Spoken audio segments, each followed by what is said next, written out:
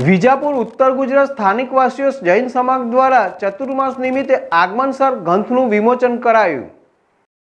વિજાપુર શહેર વિસ્તારમાં આવેલ ઉત્તર ગુજરાત સ્થાનિકવાસી જૈન સમાજના મહાવીર સ્વામીના સ્થાનક ખાતે શ્રીમદ વિનય મુનિ મહારાજ સાહેબ તેમજ શ્રીમદ ગૌતમ મુનિ મહારાજ સાહેબ તેમજ શ્રીમદ સંજય મુનિ મહારાજ સાહેબ, શ્રીમદ સાગર મુનિ મહારાજ સાહેબના સાનિધ્યમાં જૈન સમાજ દ્વારા ચાલી રહેલા ચતુર્માસ નિમિત્તે બત્રીસ આગમસાર ગ્રંથનું વિમોચન કરવામાં આવ્યું હતું. તેમજ ઉપસ્થિત સાધ્વી મહારાજ કલ્પલતાજી તેમજ સુક્રિયાજી સાધ્વી મહારાજ દ્વારા ધાર્મિક પઠન રજૂ કરવામાં આવ્યું હતું, જેમાં જૈન સમાજના કલકત્તા, મદ્રાસ, બેંગ્લોર, હૈદરાબાદ, અમદાવાદ તરફથી મહારાજ સાહેબોના આશીર્વાદ લેવા માટે લોકો મોટી સંખ્યામાં પધાર્યા હતા.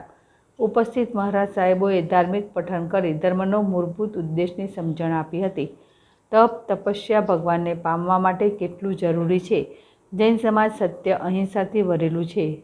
આરાધના, તપ તપસ્યાથી ઈશ્વર સુધી પહોંચવાનો માર્ગ છે. તેમજ ઉપસ્થિત ધાર્મિક અનુયાયીઓએ મહારાજ સાહેબના આશીર્વાદ મેળવ્યા હતા. આ પ્રસંગમાં વિજાપુરના ઉત્તર ગુજરાત સ્થાનિકવાસી જૈન સંઘના પ્રમુખ શાંતુભાઈ શાહ દ્વારા આવેલ મહેમાનોની સેવાઓ પૂરી પાડી હતી. સૈયદજી બુખારી જેડેસ ટીવી, વિજાપુર.